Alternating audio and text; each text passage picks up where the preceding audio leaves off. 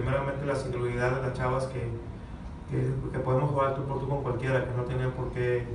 Habíamos estado batallando los juegos un poquito que empezaban y empezaron un poquito nerviosas y luego ya reaccionábamos, pero ahorita que empezamos desde un principio enchufados y, nos dio para, para dar. Y sí, bueno, en la práctica toda la semana estuvimos viendo que esa, que esa es una,